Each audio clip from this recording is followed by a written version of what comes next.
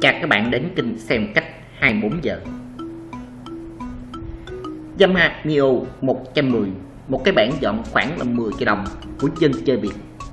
Dưới đây là một cái bản độ nói về cái dòng Yamaha Mio 110 Được hồi sinh lại với một cái diện mạo bên ngoài vô cùng tốn kém.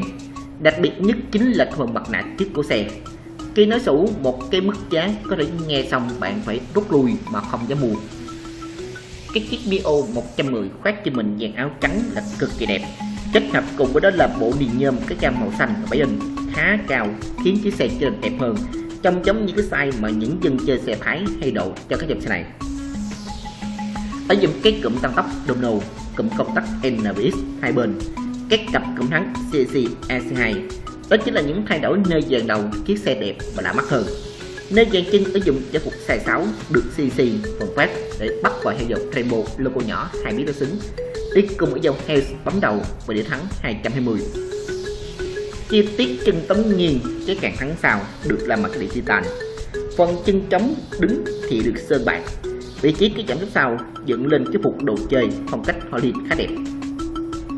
Chi tiết mặt nạ cùng với xi trước, một món đồ chơi hơi hiếm gặp ở Việt Nam theo như mình tìm hiểu thì phần mặt nạ này được đặt hàng từ Thái về, mức giá không dưới 4 triệu đồng. Để thấy cái phần mặt nạ này là có xi nhan chính liền, khác biệt và có thêm ba lỗ ốc để bắt rổ trước và cái phía sau có phần nhựa nhám ngay ổ khóa cho thêm cái bộ hốc để đồ.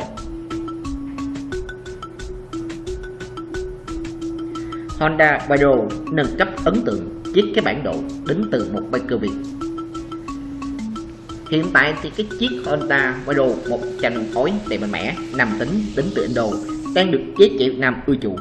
Ngoại hình, phong cách thể thao cùng với động cơ mạnh mẽ, thiết kế nhỏ gọn. Cái mẫu xe này đang được rất nhiều tín đồ chơi xe trong nước rất là phát triển mạnh với những bản độ cực kỳ chất. Điển hình là cái chiếc Video động dưới đây.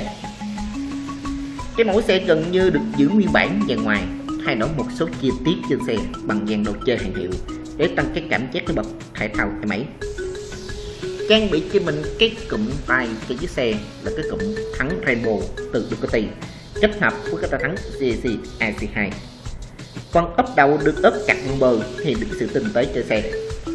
Trang chân trước trang bị heo Rainbow hai biết xứng đĩa gà phờ kết hợp trên ốc trên nhùm đầy bắt mắt. Các cản tay chắc sau được ốp carbon đầy tinh tế, phong cách Phục sau của xe cũng được thay bằng phục Holland hàng hiệu nổi bật. Ngoài ra cái chiếc Vero này còn được trang bị cơ bộ 4 rốt cho thức âm thanh đầy của lực.